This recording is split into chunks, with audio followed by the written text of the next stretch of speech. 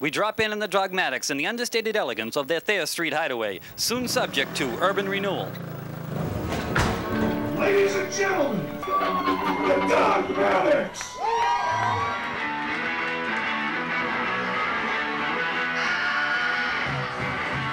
The Dogmatics, a Dogumentary, is a story of a band of Catholic school hooligans who just happen to have played a role in influencing a thriving Boston music scene then and now.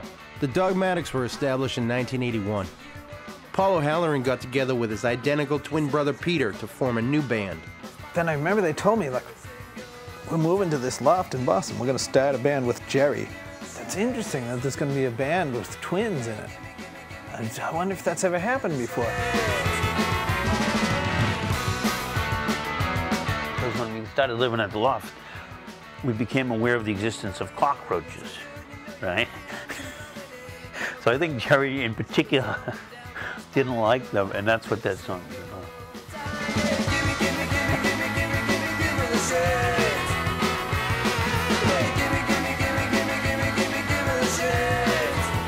They were Boston's house band, to me.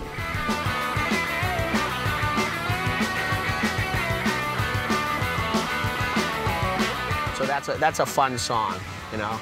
It also gives you the opportunity as a guitar player, when it goes down to just drums and bass, to walk over to your amplifier and take a swig off a beer. Me and Pete would often do that together, look at each other, raise, raise a beer, and take a swig. The Dogmatics were no different than any other talentless, self deprecating, beer swilling, girl chasing lunkheads with guitars. They were young, selfless, and affable. Playing was the only thing that mattered. I later became a middle school teacher, and you know, nothing can train you better to, you know, run a middle school classroom in New York City than having worked with Dogmatics for three or four years.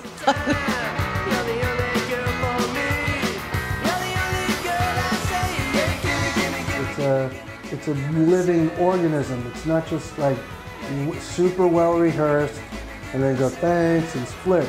It's like, you never know, you might see a fist fight. This could be good. I'm gonna watch. They just have that thing about they're Boston. There's never been a more Boston band than the Dogmatics.